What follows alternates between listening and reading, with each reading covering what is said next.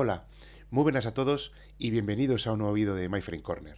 El vídeo de hoy versará sobre una petición que han hecho varios usuarios respecto a profundizar en aspectos más técnicos del sistema operativo OS 390 o ZOS de Mainframe, en los cuales en vídeos anteriores os expliqué cómo podemos utilizar Hércules, que es el emulador de Mainframe por excelencia, y los CDs descargados de, de archive.org del sistema operativo OS 390 versión 2 release 10, de hecho el Application Development CD, que son un conjunto de CDs con los volúmenes del sistema operativo y una documentación bastante completa para ponerse en marcha con el sistema. Pero claro, lo que hemos hecho al final ha sido copiar esos volúmenes, configurar y customizar nuestro fichero de configuración de Hércules y hacer que Hércules arranque de esa manera.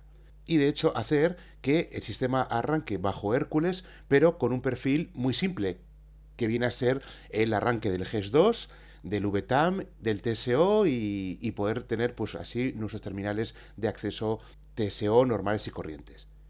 Pero el ADCD no solo es eso, tiene un montón de herramientas adicionales, entre las que podemos destacar todos los compiladores que vienen con, con el sistema, pues entre ellos COBOL, obviamente, también tienes C, Java, etc. También tienes el servidor de aplicaciones WAS, el sistema de base de datos DB2, tenemos también el sistema transaccional ZIX IMS y una serie de herramientas y utilities adicionales como si esto se tratara de una instalación mainframe real de una entidad bancaria o de una compañía de seguros o de una empresa bursátil. Por tanto, en este vídeo y haciendo caso a los comentarios que hemos recibido por el vídeo ese de los, del pasado vídeo de los 2.000 suscriptores, lo que voy a hacer ahora es explicaros cómo arrancar un sistema DB2 dentro de nuestro entorno OS 390 emulado por Hércules. Y también cómo arrancar el transaccional ZIX, que es, podría decir, que el sistema transaccional más utilizado en el planeta aunque le sigue de cerca IMS como segundo entorno transaccional eh, más utilizado. Para ello, el ADCD viene con una serie de parametrizaciones ya hechas en las que en lugar de tener que concatenar nosotros las delivas y concatenar unas eh, librerías de LPA, concatenar la prog, la linklist, etc., para eso la gente de IBM que ha creado esta distribución ADCD ya nos ha ahorrado esa tarea y simplemente con leer un poco la documentación podemos ponerla en marcha sin más dilación. A este respecto, si nos vamos al documento P390, R390, R390 Integrated Server, OS390 New Users Cookbook, aquí aparece toda la información que necesitamos para poner en marcha nuestro sistema ADCD y todas las aplicaciones que queremos poner en marcha. Pero bueno, como estamos hablando de un documento que tiene más de 300 páginas, en este vídeo os voy a simplificar un poquito la tarea y así poder poner en marcha en pocos minutos nuestro sistema DB2 y nuestro sistema ZIX. Bien, para ello lo que os tengo que dar es un poquito de teoría. En un sistema mainframe entre muchos parámetros de arranque existe uno que se llama el LOAD-PARM. El LOAD-PARM es un parámetro en el que vienen el disco IODF y el catálogo maestro donde está toda la información. Y luego también en su interior tiene un parámetro que es, digamos, la, el miembro LOAD que debe cargar. Ese miembro LOAD, que reside en un dataset llamado sys1.iplparm, lo que hace es concatenar las librerías de la parmlib que necesitamos para arrancar los diferentes subsistemas. Vosotros ya conocéis una, porque en el primer vídeo que hicimos lanzamos el parámetro CS, que era cold start, que lo que hacía era un arranque formateándolo y nos habilitaba un VTAM y un TSO para poder entrar y jugar un poco con la máquina. Bien, pues ese, ese parámetro CS dentro de la LOAD-PARM lo que realmente está apuntando era a un miembro llamado LOAD-CS dentro de la IPL-PARM y, ese, y en el interior de ese miembro lo que nos está diciendo es a qué catálogo apuntar, cuáles son los miembros de PARMLIB que tenemos que utilizar y sobre todo cuál es el parámetro, el sysparm, que tenemos que utilizar en el arranque del mainframe. Ese parámetro sysparm es el que en nuestra parmlib hay un montón de miembros, como por ejemplo la IEASIS, la PROG, la CLOC, hay un montón de miembros, pero si por ejemplo creamos un miembro llamado IEASIS CS, lo que estamos diciéndole con el sysparm CS es que me lea el miembro IEASYS CS y haga una configuración, un perfil de configuración concreto para ese arranque. Si yo me creo, por ejemplo, un LOADPARM 00, lo que yo hago es crearme un LOAD 00 y ese LOAD 00 con el SysParm 00 me irá a arrancar la IEASYS 00 que puede tener unos parámetros completamente distintos. Y esto esta perfilería de parámetros es lo que nos permite eh, que en un mismo entorno podamos arrancar diferentes subsistemas sin tener que meternos de lleno en configurar cada uno de los parámetros de la paramlib, ya que IBM lo ha hecho por nosotros en esta distribución. Así que sin más, aquí os voy a explicar un poquito un poquito más adelante de este documento, nos dice por aquí están los, volúmenes, etcétera, y hay una parte en la que nos dice los, aquí bueno, cómo arrancar, cómo parar, y aquí hay una serie de parámetros que nos dice dónde están las diferentes miembros de Paralib. Aquí está, IPL Parameters a Paralibs. Esto es lo que realmente nos interesa conocer para levantar el DB2 y el ZIX. Como os he dicho antes, CS lo que hace es limpiar la link pack area y no levanta ni DB2 ni ningún módulo de IMS y hace un cold start de GES2, que es nuestro su, sistema de entrada de trabajos. Una vez hecho un cold start, podemos hacer perfectamente un arranque normal y acceder al TSO y al resto de los terminales, etc. Pero claro, si un cold start lo que hace siempre es un formateo de los volúmenes de spool del GES2. Y si yo quiero mantener mis trabajos de, otro, de otras arrancadas eh, en el spool y, y, no perderlos cada vez que arranco la máquina, entonces puedo utilizar el parámetro WS, que lo que hace es utiliza la PLPA existente que se ha formateado aquí y hace un arranque en caliente del GES2. Un arranque en caliente lo único que hace es levantar el GES2 sin tocar el spool. Entonces todos los documentos y trabajos y JCLs que has ejecutado en el GES2 anteriormente se siguen manteniendo. Por ejemplo, creo que habéis llegado a una conclusión eh, conjunta y es que yo la primera vez que arranco un sistema OS 390 a DCD siempre tengo que arrancarlo con un cold start. Nunca puedo arrancar un warm start, porque si no por formateo la CLPA ni los spools, me daría un montón de errores y la máquina no arrancaría. Por lo tanto, esto lo ejecutas una vez, la primera vez eh, que arrancas, y ya las siguientes veces puedes utilizar warm start para los arranques posteriores. Bien, el siguiente parámetro es interesante porque es el DI, que lo que hace es formatear la CLPA, pero añade los módulos de DB2 e IMS y también hace un arranque en frío del GES2. El siguiente parámetro es utilizar DC, que lo que hace es utiliza la PLPA que ha sido formateada en el entorno DI, en el arranque DI, que, tiene, que ha sido creada con, con la DI IPL, que nos ha incluido los módulos de DB2 e IMS, y nos hace un cold start del GES2, o sea, nos formatea el GES2. Y ya por último, para hacer un arranque ya mm, diario en el que no quieres borrar ni el GES2 ni nada de nada, utilizaríamos el arranque DB, que utiliza la PLP asistente y nos arranca el DB2 y el GES2 se arranca en forma caliente, es decir, se hace un, un arranque caliente. Bien, pues esto traducido a Hércules, eso ya lo podemos cerrar, tenemos aquí. Yo aquí lo que he hecho ha sido crear varios parámetros y ponerles una almohadilla para, como comentario. Entonces, ahora mismo, tal y como tenemos nuestra, nuestro fichero de configuración de Hércules, vamos a hacer un arranque con parámetros CS, Cold Start, que además lo he puesto yo aquí para que, para que me acuerde, porque no voy a estar siempre mirando el documento. Yo os sugiero que hagáis lo mismo. Así que sin más, con esta configuración, entramos aquí, OS390, Bien, aquí tengo, voy a poner modo escape, con la tecla escape para ver de una forma gráfica cómo tenemos nuestro emulador Hércules y voy a lanzar las consolas SNA que van a coger las direcciones, en este caso 700, 701, 702, etc. Entonces, bueno, como necesitamos la consola no SNA para el arranque de la consola maestra, pues lanzamos. Bien, aquí tenemos la consola maestra, vamos a abrir una consola alternativa para tener nuestra primera sesión de TSO. Y bueno, pues con esto ya tenemos lo suficiente para arrancar.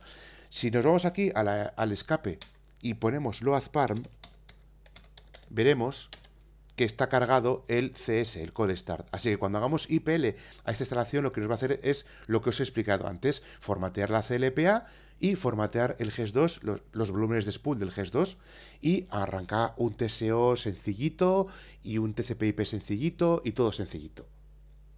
Pero este, este, paso lo tenemos que hacer primero. Así que nada, hacemos aquí ahora mismo un LOAD, una L, LOAD, la tecla I, que es el disco residente, y ahora ya veis que comienza el arranque. ¿Veis? Aquí está formateando la CLPA. Ya lo ha hecho, ya está arrancando el Sysplex y ahora ya está, eh, arranca la consola maestra de nuestro entorno.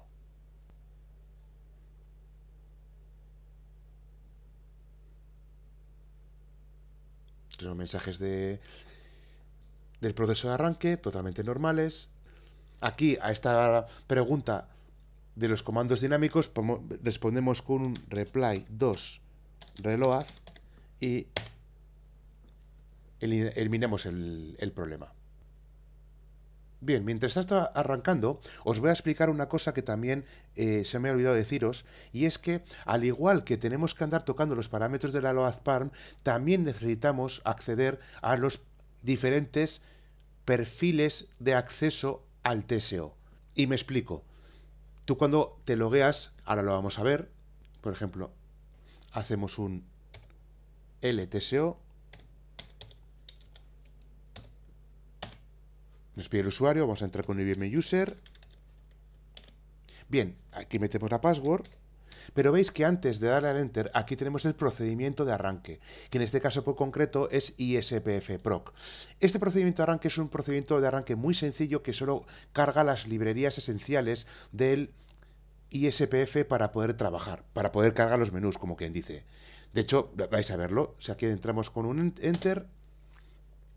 Veis que carga el ISPF PROC y aquí tenemos nuestro ISPF. Bien, el ISPF Pro lo que nos permite es la modificación de los siguientes menús. Por ejemplo, en esta M de More, veis que tenemos el SMP, el ISMF, el RACF para la seguridad, el HCD para la configuración de hardware, el SDSF que es nuestro entorno del spool. De hecho, entramos con un 5 para, ver, para que veáis que si yo ahora hago, por ejemplo, un ST, Status of Jobs, vais a ver que tenemos los jobs en ejecución del GES2 y nada más. O sea, no tenemos aquí trabajos ejecutados más que estos tres, que han sido los del el arranque de ahora mismo, y no tenemos nada aquí debajo. ¿Por qué? Porque hemos hecho un formateo de los spools del GES2. Aquí se puede comprobar que se ha hecho un cold start. De hecho, digo más, si hacemos un log y damos al enter, y aquí F11 para mover la pantalla un poquito, vamos a ponerlo esto en grande para que sea mejor. Eh, veis que si hago un F7 hacia atrás, estos son todos arranques del entorno y veis que en un momento determinado, veis, aquí está. En este momento hemos lanzado el cold start del, G, del GES2, que es precisamente el parámetro cold start de, del, del loadparm que hemos utilizado para arrancar. Entonces aquí te está diciendo que está cogiendo el spool que está en este sistema y te lo está eh, formateando. Y entonces los checkpoints los formatea y formatea toda la información del GES2. O sea que ahora tenemos un GES2 limpito, limpito. Y aquí con esto lo hemos comprobado. Tenemos F8, aquí al final, son eh, eh, advertencias de seguridad, y aquí al final dice que el cold start se ha completado. Y a partir de este momento es cuando ya se levantan los iniciadores y se levantan todos los procesos asociados del sistema. Bien, pero sin irnos eh, por las ramas, habéis visto que este menú tiene estas 11 opciones. Bien, pues que sepáis que existe otros menús que nos van a venir muy bien cuando arranquemos el DB2 y el ZIX, como por ejemplo opciones de menú de administración del DB2, o el uso del Spoofy, o el QMF, que es el Query Management Facility, o sea, un montón de, programas nuevos que aquí ahora mismo no están. Por tanto, lo que hay que hacer es, cuando arranquemos con el sistema DB2 y el ZIX, en lugar de entrar con el procedimiento ISPF PROC que habéis visto, que está aquí, el TSO Logon ISPF PROC, lo que vamos a tener que hacer es arrancar con otro procedimiento que ahora os lo enseño. Si vamos a 3.4, podemos ver aquí en eh, creo que es 1.tso proc, creo que está aquí. Eso es, está aquí. Y hacemos un browse. Podemos ver que aquí tenemos 6 modelos de arranque. Nosotros estamos utilizando el ISPF Proc, que lo que hace el ISPF Proc realmente sí, podéis comprobar que no es más que una concatenación de librerías para que, digamos, las opciones del menú funcionen y llamen a las librerías adecuadas. Bueno, pues entonces, ¿qué es lo que pasa? Que hay otro procedimiento de logon que adivinad cuál es. Pues este, DBS proc. Este DBS proc es el que nos va a concatenar, si miramos aquí con un browser, es que nos, nos, va a concatenar librerías como por ejemplo las DSN, que son de DB2, QMF, que es el Query Management Facility, es decir, cosas que el otro no tenía. Por tanto, cuando a partir de ahora queráis que siempre que arranque la ECD arranque el DB2 y el ZIX, recordad que en el logon del TSO tendréis que cambiar vuestro ISPF proc por DBS proc. Bien, pues con esto comprobado, vamos a salir de aquí, hago un logoff y minimizo esto porque vamos a parar la máquina y vamos a hacer un arranque DI, que es el arranque que nos ha sugerido el manual para cargar los módulos de DB2 e IMS y además cargar, eh, formatear la CLPA y dejar esos módulos cargaditos para siempre. Así que bueno, hacemos un S shutdown y que el sistema vaya parando. Y mientras está parando voy a ir cambiando esto y voy a poner que arranque con el parámetro DI y salvo. De esta forma, en el siguiente arranque que realicemos, lo que vamos a hacer es cargar los módulos del DB2 e IMS. Vale, acabado el shutdown y ahora se nos queda con all available functions complete. En estos momentos, entonces es cuando podemos hacer un dólar p GES2 para parar el GES2, todos los iniciadores, y una vez que tengamos el mensaje de que el GES2 ha terminado, hacemos un ZEOD, que es el end of day, halt EOD successful y hacemos un quieste para parar el procesador. Bien, ahora tenemos el sistema parado. Yo he cambiado aquí el procedimiento de arranque. Yo no tengo por qué parar el Hércules para coger esta nueva configuración. Como al final lo que nos está pidiendo es el loadparm, la única modificación es este loadparm, yo puedo decirle al sistema dinámicamente que me cambie el loadparm. ¿Cómo? Pues si yo, por ejemplo, hago aquí un loadparm, veo lo que tiene. Pues si hago un loadparm espacio 0A82 DIM1, ya lo hemos cambiado. Así que si ahora hago de nuevo IPL al disco, ya arrancará en modo DI. Es decir, irá a la load DI cargará la SysParm DI y eso moverá todos los módulos e instalará todos los módulos de DB2 en el entorno. Así que hacemos aquí, o bien desde el entorno gráfico, la L de LOAD a la I, que es el A0 a 80, o bien, ya que estamos en el entorno texto, pues hacemos un IPL al 0 a 80, que es lo mismo. Veis que aquí volverá a aparecer Veis que también se queda aquí un rato porque se está formateando en estos momentos la link pack area y está añadiendo los módulos de DB2. Veréis cómo cuando arranquemos el modo warm start, esto lo hace en un segundo. ¿Por qué? Porque no se para a formatear nada. Aquí nos aparecen de nuevo los comandos, hacemos un reply del 2, reload, y que recargue los comandos y ya quitamos ese mensajito. Bueno, pues ya arrancado el sistema. Lo único es que mm, solo tenemos los módulos cargados. No vamos a hacer nada más, porque como ya se ha creado, se ha hecho un call de start de los módulos de DB2 y están cargados en memoria, lo que vamos a hacer ahora entonces es parar la máquina, de nuevo con ese shutdown, y ya arrancaremos en modo DC, que es un call de start del DB2, del ZIX y del GES2 con todos los módulos PLPA cargados previamente. Como siempre, $pges2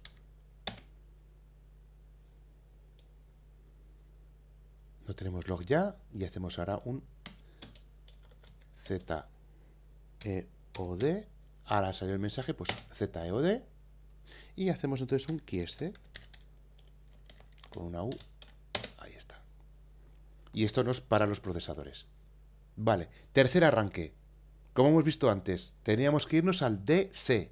Así que si aquí tenemos, hacemos un load parm y le damos al enter, vemos que tenemos el load DI, que es el que hemos puesto al principio. El DI, recordar, era para cargar las librerías de DB2 en la CLPA. A partir de ahora no habrá que cargar nada más. Así que vamos a hacer el arranque en frío del GES2 y del DB2 y solo nos quedará un cuarto y último arranque que será el del arranque del DB que ya es con todo cargado en Warm Start con nuestro Zixi DB2 y todo levantado. Así que lo mismo, hacemos un load parm 0A82 DC de cold start M1 enter. Y ahora hacemos de nuevo, pues IPL al 0A80. Y esto nos realizará de nuevo la IPL de la máquina. Que sepáis que con el entorno DC ya os arranca también el DB2 y el ZIX, pero siempre es un cold start, es decir, si siempre arrancáis en modo DC, os va a borrar todos los jobs que hayáis ejecutado eh, con anterioridad. Entonces, mm, yo generalmente lo que suelo hacer es arranco una única vez en DC y ya el resto de las veces me vengo aquí al fichero de configuración y aquí lo que hago es dejar ya siempre cargado en modo DB. Aquí ya lo salvo y ya lo tengo para siempre. Aquí de nuevo los comandos. También podéis poner simplemente un 2 reload y os los carga. O sea, no hay que poner reply 02, reload. Es decir, esta consola ya te coge, te coge los comandos directamente. Ojo, en el MVS 3.8J tenías que poner reply, el número de respuesta, coma y la respuesta. Aquí ya no, obviamente han pasado muchos años entre uno y otro y veis, aquí ya os está diciendo, ya está arrancando el DSN, que es nuestra base de datos. Y nos, está diciendo que está escuchando al puerto 446 para las conexiones ODBC o JDBC que vayáis a hacer contra la base de datos. Este mensaje que aparece aquí solo aparece en esta distribución. Es porque aquí no está configurado adecuadamente el Workload Manager y entonces está poniendo que el IRLM, que es el, sistema de recursos de gestión de base de datos, tiene el, mismo nivel de prioridad en la CPU que el propio que el, el address space del DB2, cuando el IRLM tendría que estar por encima. Pero bueno, para nuestro caso, patata, no importa. Esto obviamente en una extracción de producción pues se tendría que mirar, pero en este caso... Y por último veis que está aquí saliendo el arranque del ZIX. En modo cold start. Así que bueno, yo aquí, si hago por ejemplo un LTSO y vengo al usuario IBM User y pongo el password, veis que entro como siempre a los menús. Por ejemplo, si me voy a M.5, que es el SDSF, si hago un status ST, podemos ver aquí que además de los procedimientos normales, están también los del DB2 y la región del ZIX. Bien, pero si yo salgo de aquí y voy a la versión M, como habéis podido comprobar, esto sigue estando con el menú inicial. ¿Por qué? Porque hemos entrado con el ISPF PROC. Pues lo que vamos a hacer es salir de aquí, off, y vamos a entrar con el procedimiento DBS proc, que era el que vimos en la TSO proc en el arranque inicial que vimos hace un momento. Entonces, si hacemos de nuevo LTSO y ponemos el usuario IBM user y ponemos la contraseña, aquí hay que cambiar y poner DBS proc y enter. Esto nos carga, como os he dicho, una concatenación de librerías que ahora nos generarán nuevas opciones de menú, a saber, opción M, estas nuevas seis opciones adicionales, que son las que gestionan el DB2. La más utilizada, obviamente, la opción 15, que es el DB2 Administrator. Si vas aquí con un 15, podemos comprobar el entorno DB2 que tenemos, que se llama DSN1, estamos con el usuario IBM User y aquí desde la opción 1, que es el catálogo del DB2, podemos ver los volúmenes que utiliza, las, por ejemplo, las de databases, y aquí nos está diciendo todas las bases de datos que están levantadas ahora mismo dentro de nuestro entorno de pruebas, de nuestro entorno ADCD. Y estas mismas bases de datos son las que pueden ser consultadas externamente por ODBC y trabajar contra ellas como si fuera un DB2 real, en un host real, en un entorno bancario o empresarial. Pues esta es la, digamos, la forma de que tenemos de arrancar un DB2. De igual forma, si yo salgo de aquí, F3, F3, F3, 2 delete el dataset temporal y hago un logoff y pongo en grande para que lo veáis mejor L CIX, estaríamos entrando en la región del CIX. Y este es nuestro transaccional. Con la tecla pause salimos de la pantalla del banner inicial y podemos empezar a ejecutar transacciones. Por ejemplo, la CMT y inquiry de task de las tareas que tenemos activas y ahora obviamente solo tenemos la mía. La, ahora mismo hay una transacción en, en vuelo que es la que yo he lanzado, es que es la CMT. De igual forma, F3, con esto hemos acabado la transacción. Pause, que quiero hacer, por ejemplo, un CEDA DI group. Pues voy aquí, aquí pues grupo, quiero ver todos los grupos que tiene de transacciones el, el CIX instalado por defecto. Que, que, habrán un montón, pues porque como estamos hablando de que es un entorno de desarrollo, pues es lo que tiene. Entonces aquí, si damos a Enter, podemos ver toda la cantidad de transacciones que hay y los grupos que tiene. Entonces, los programs son programas en COBOL del grupo CE. Ya veis que tiene 1973 programas instalados en este CIX. Luego aquí hay más grupos, y estas son transacciones. Tenemos transacciones, programas, particiones, pantallas, mapset, que son pantallas, etcétera. Pues bueno, esto es, eh, y esto es lo que estoy trabajando ahora contra, contra el sistema transaccional CIX. En un futuro os haré un vídeo de cómo crear programas en CIX y poder trabajar con ellos. Pero bueno, eso será en otro vídeo. Bien, sesión ended, pause para blanquear la pantalla y si hacemos un CSF logoff, nos saca del CIX y hemos salido del CIS. Y ahora si hacemos un LTSO, podemos volver a entrar en el TSO. IBM User. Con el, ya, ya veis que se guarda la, el, el, proc, así que ya lo dejáis dejarlo así y así ya siempre tendréis el TSO proc con, con las librerías concatenadas del DB2 para poder, como podéis ver, administrarlas. Con un 15 administramos y entramos en la herramienta de administración. Y lo que vamos a hacer con la opción Z, que es System Administration, vamos a parar el DB2 de forma ordenada, porque vamos a parar la máquina y por último haremos el último arranque, que es el DB, que es el arranque Warm Start con todos los módulos de ZIX y DB2 cargados y con el GES2 sin que tenga que formatear ningún spool. Pues vamos a la opción 2S, que es Stop DB2, 2S, y hacemos un force para parar, no un quieste, sino un force. Un quieste realmente paró la transaccionalidad de datos, dejando los discos sin tocar, pero el DB2 sigue estando activo. Con un force paró la transaccionalidad de datos y cierro los address spaces del DB2. Así que hacemos un force, ya nos aparece que está parando, aquí con F3, obviamente hemos perdido la, la pantalla porque está parándose el DB2, y volvemos a nuestro ISPF sin problemas. Y como podéis ver aquí, ya veis que está parándose, son los mensajes de parado del DB2. Bien, pues con esto y un bizcocho, cerramos el DSPF, nos deslogueamos y hacemos un S shutdown para parar la máquina y así ya hacemos un arranque en Warm Start con todos los módulos de DB2 y ZIX cargados ya por defecto para que todos utilicéis ya a partir de ese momento el arranque DB y no tengáis que pasar por estos cuatro arranques que hemos tenido que hacer previamente para preparar el entorno y que ya no haya ningún problema.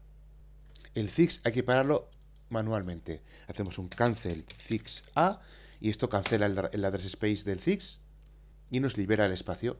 Así que en un ratito aparecerá el famoso hola available functions complete del GES2, con lo que podremos hacer un dólar p GES2 y vamos a dejar que es, hasta que no salga el mensaje no vamos a dar al, comando. ¿Me seguís, no? No parece, ya veis que no es muy complicado. ya ha aparecido el mensaje, dólar PGES2, mientras está parándose ya voy escribiendo el mensaje ZEOD y cuando aparezca el, GES2 ended, entonces cuando lanzo el comando de ZDOD. Pues ahí está. Halt EOD successful y por último hacemos un quieste y con esto paramos las CPUs y nos aparece el famoso completed. Muy bien. Pues por último, ahora si queréis cerramos el Hércules y dado que en nuestro Hércules CNF ya tenemos el LoadParm con DB, lo leerá directamente el Hércules y no tendremos que cambiar el LoadParm como hemos hecho manualmente dentro del Hércules para hacer todos estos arranques. Así que nada, cerramos aquí, esto lo minimizamos y lanzamos de nuevo el Hércules, ya lo tenemos aquí, vuelvo a maximizar la sesión y conecto y conecto. Bien, pues ya hacemos un... Primero comprobamos que el LoadParm lo ha cogido bien. Y efectivamente aquí está DB. Perfecto. Así que volvemos aquí y hacemos un arranque IPLD y el device I, que es el primer disco residente. Y ahora esto ya sería el arranque habitual que tendréis que hacer para tener vuestro mainframe con DB2, Zix y el GES2 en modo Warm Start para que no os borren los trabajos que hayáis ido ejecutando. Bien, mientras carga, ya veis lo que hemos hecho, así a modo resumen. Primero hemos arrancado el Hércules en modo Cold Start para que nos formatee el DB2 y la LPA. Con esos datasets y esas agrupaciones de memoria formateadas, lo siguiente que hemos hecho ha sido un arranque DI para que formatee la LPA y añada los módulos de DB2 e IMS al entorno. Luego hemos hecho un arranque DC para que formatee el spool del GES2, formatee la CLPA con los módulos de DB2 e IMS y preparado para el entorno ZIX también.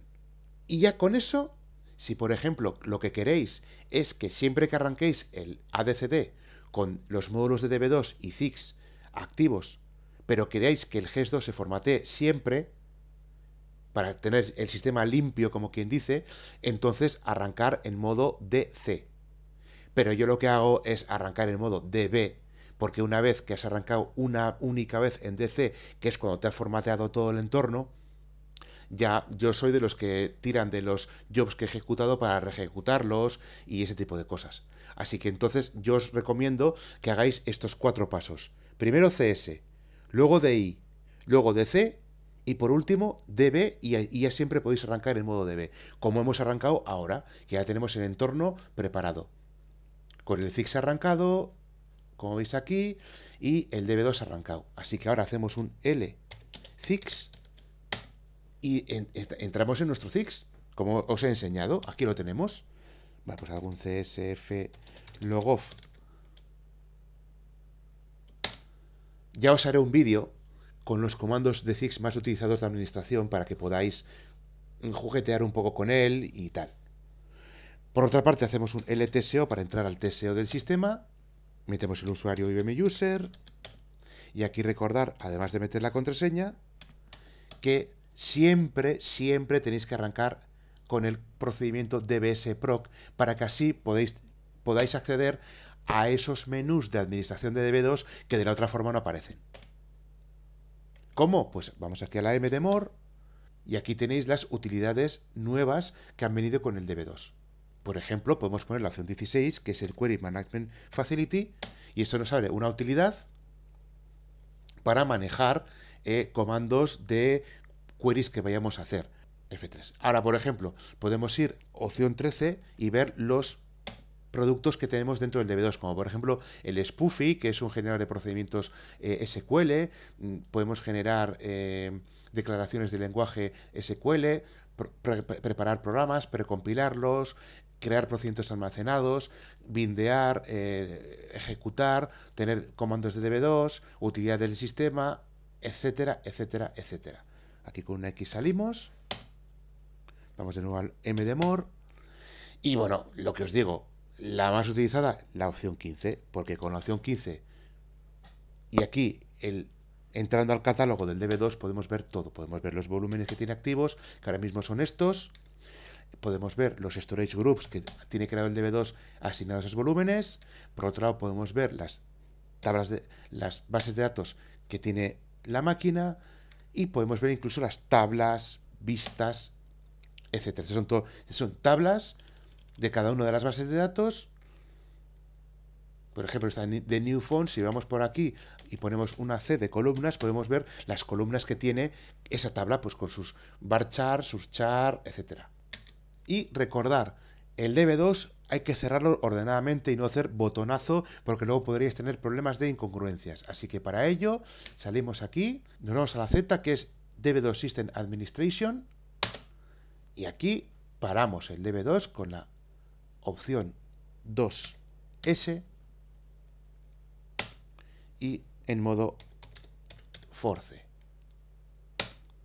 Y esto ya nos parará el entorno. Si vemos la consola podremos ver perfectamente que el DB2 está parándose. Aquí se puede ver que está parándose el DB2 y que en cualquier momento podemos también lanzarlo. Podemos hacer un, creo que es con guion. Si hago un guion start DB2, Efectivamente, con el recordar todo lo que empieza en, esta instalación, todo lo que empiece con guion van a ser comandos de DB2. De la misma forma que si todo lo que empieza con, un dólar son comandos de GES2. Y sí, ya veis que aquí se ha, cerrado. Pero yo, por ejemplo, de la misma forma, eh, habéis visto la administración del sistema. Cómo hemos podido cerrar desde los comandos del ISPF. Desde consola también puedo hacer un guion stop DB2, que es el mismo proceso. Veis que también está parándose el DB2 desde la consola. Aunque bueno, ya os digo que por comodidad el ISPF es hasta más bonito en ese sentido. De hecho, si vais ahora mismo, ponemos una M de more y vamos a la opción del DB2 Administración, la opción 15, nos va a dar un error porque el DB2 está parado. ¿Veis? No aparece nada. ¿Por qué? Porque no encuentra el sistema DB2. ¿Veis que no, no aparece aquí? ¿Por qué? Pues porque está parado. Así que esto ha sido todo. En vídeos futuros nos meteremos un poco en harina dentro del ZIX y os explicaré comandos de sistema para ver un poco, para que veáis la transaccionalidad del entorno, para que veáis cómo se administra básicamente un sistema transaccional ZIX, etc. También haré un vídeo a corto o medio plazo explicándoos cómo crear un programa COBOL que utilice pantallas de ZIX y cómo darlas de alta en el ZIX y cómo generar una conversación entre el ZIX y nosotros utilizando pues una pantalla de ejemplo, creando nuestra propia transacción, que es lo que se utiliza hoy en día en entornos empresariales, entornos bancarios, bursátiles, etcétera, etcétera, etcétera. Así que esto ha sido todo. Si os ha gustado el vídeo, dad a me gusta o dad un super thanks para apoyarme económicamente A la campanita para que os avise cuando suba nuevos vídeos, aunque los que ya me conocéis sabéis que los subo todos los viernes en la medida de lo posible. Suscribíos si no lo habéis hecho ya, porque cuanto más seamos, muchísimo mejor, y además me ayuda a mantener el canal. Y si tenéis alguna duda de la que queráis que hable en futuros vídeos, y si obviamente está dentro de mis conocimientos, dejadmela en los comentarios. Ya veis que os hago caso y os los contesto todos. Y sobre todo, muchísimas gracias por ver el vídeo hasta el final. Ya sé que es un coñazo, porque al final estamos hablando de mucho tiempo, pero claro, es que esto no se explica en 5 minutos. No os mm, montar un entorno ZIX y DB2 en un entorno mainframe, pues no es cosa de 5 minutos. Por lo tanto, muchísimas gracias por ver el vídeo hasta el final. Así que sin más, hasta el próximo vídeo de Mainframe Corner.